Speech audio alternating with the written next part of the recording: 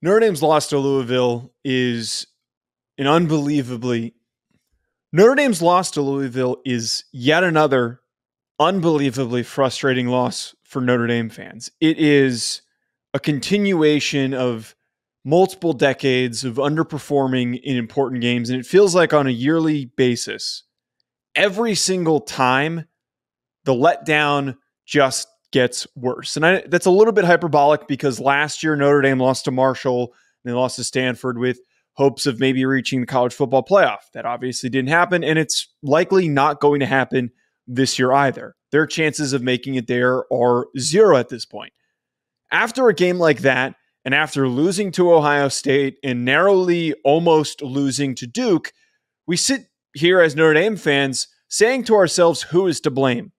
Who do we point the finger at to determine how do we get this thing right? And I'm not saying it goes to one person or if it goes to a certain aspect of the university, the athletic program. There has to be blame dealt to somebody. And I've gotten to the point where Notre Dame in the past two years, the way that I have seen them perform and play in games where they need to step up it is blatantly obvious that that blame does need to go, not all of it, but some of it does need to go to Marcus Freeman. I'm obviously going to hold Gerad Parker accountable for the hor- horrible play calling. And it's not totally Marcus Freeman's fault that he was forced to move to Parker after Tommy Rees left. They should have paid Andy Ludwig. They didn't. The athletic administration, when Swarbrick was still there, set him up for this level of failure. If they brought in Andy Ludwig, that offense would look completely different. And I don't think any of our concerns right now would be happening because Andy Ludwig is able to have some offensive production with a team that is void of any receiver talent, their best tight end, and their starting quarterback who has been there for a very, very long time. And when Cam Rising has been there, that Utah offense has been phenomenal and they missed out on that opportunity because of whatever politics were happening behind the scenes that we're not privy to. But outside of the offensive incompetence, and again, I give Marcus Freeman some pass because of what he has dealt with with being forced to let Parker be the one calling plays. But outside of that offensive incompetence, I look at all of the games that they have lost, all of the games that they have been in close battles at halftime the way that they have entered games with no energy, no aggressiveness, no fight. You got Joe Alt getting put on his ass by a no name edge rusher.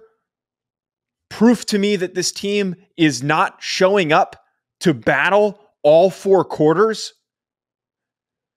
It has happened too many times that Notre Dame has been flat and then they get punched in the mouth. And then while they're getting punched in the mouth, they do not fight back.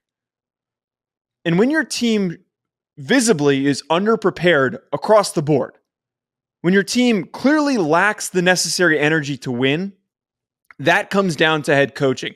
That comes down to your head coach not getting his team prepared for games. That's what that is. When you're in a locker room and your coach isn't delivering a weekly message that gets your team motivated, that is exactly how you're going to play against Duke and against Louisville. Yes, they they showed a lot of energy against Ohio State, but that is the only game in Marcus Freeman's time as the head coach of Notre Dame that I have felt that Notre Dame has shown up to fight with an opponent. And they ended up faltering at the end of that game. So I don't know how much credit I give them for that because they didn't step up to an important challenge in the end of that game multiple times and failed to close that one out offensively and defensively. This has happened against Marshall. It has happened against Stanford. It happened against USC last year. And now this season, it hap- almost happened against Duke and it happened against Louisville. When we have a continuous pattern of failures and failures for the same reasons, we have to start having that conversation. And I'm, I'm freaking tired of saying at some point we should consider having the conversation. Let's have the conversation now. Marcus Freeman is a very promising young head coach. He is a great recruiter. He is somebody who I think in the future, down the line, will be a great head coach in the NFL or in the college ranks. But we have to admit to ourselves as Notre Dame fans, he was hired way too early in his coaching career. It is commendable the impact he has had in recruiting, the guys that he has been able to bring in, the guys that in future classes are considering to come play for Notre Dame that I don't know if they end up sticking, but his recruiting efforts are significant. But how does that differentiate him from other coaches who were great recruiters that failed in in game coaching? Mario Cristobal just did it against Georgia Tech, and he did it all the time at Oregon. James Franklin's another perfect perfect example because he's recruited really really well, hasn't necessarily developed the talent to a level where they should be a national championship, Big 10 championship contending team.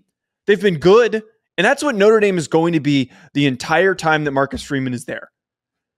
Again, I think that Marcus Freeman at some point is going to be a fantastic coach, but he is so young and early on in his career. It is clear that he is still figuring things out and trying to understand the nuances of, of a week to week basis of decision making in games and also preparation for important opponents. It happens every freaking week. Every week. Every time they need to have intensity, they don't have it. And we, as Notre Dame fans, do not have time to wait for him to figure it out. And if he is James Franklin, those are not the standards of Notre Dame football. That level of winning, it's it's nice and, and great that Penn State wins nine, sometimes 10 games. Notre Dame is expected to be better than that. And they haven't been for a very, very long time. I I, I see it as what will likely happen is that Marcus Freeman is going to probably get till the end of the year and until next year. And if he loses in another game where they should show up, dominate, and win, like Louisville, and they don't end up in that new expanded playoff conversation, you have to move on. I don't know who that next coach is, but I know that I'm writing a blank check to any of the top coaches at big programs across the country. They need to stop skimping. They need to be aggressive. They need to go out and get somebody that is going to have this program in a position to win. But most importantly, the experiment of working with a young coach that has never been a head coach before, they can't do that shit again. They have to. They have to hire somebody that has a long term track record of success just like LSU did to you with Brian Kelly, just like USC did with Lincoln Riley. If all the other top programs in the country are doing it, you need to do it as well. Let me know below. Am I off base? Should we give Marcus Freeman more time than two seasons? I'm going to really come to a conclusion at the end of this year instead of saying, let's start having the conversation. I'm going to have a conclusion by the end of this year. But let me know what you think below. Am I jumping? Am I getting ahead of myself? I'm curious what the rest of the Notre Dame fans think. Make sure you check out Bet Online for all of your sports betting needs. For anything that I do betting related, I go on over to betonline.ag and I use promo code BLEAV50. BetOnline has all of the latest updated odds for the NFL and college football seasons. Anything you need, whether it's futures, live in game betting, no matter what, your football betting needs are met at BetOnline. And again, make sure you use that promo code BLEAV50, B L E A V 50 to get a 50% welcome bonus on your first deposit. Bet online where the game starts.